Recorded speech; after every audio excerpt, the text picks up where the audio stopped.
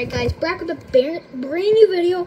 Just a short one. I think we, me and my friends have just found a leak for uh, Fracture Season. Now, we were playing this game, Sniper One Shot, and look at this. I'm gonna scope in. Look at that. Look at that.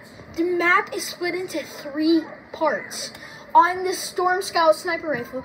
So that means the Storm Scout's coming in the Fracture season, and the map's gonna be split into three parts. This is insane, guys. Please help me make this go viral.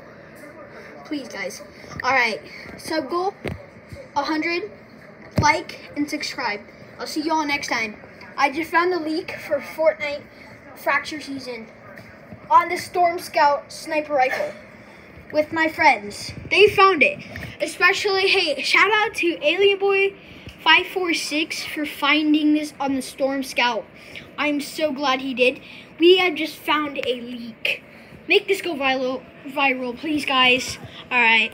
It's been Greying Around. I'll see y'all next time. Bye.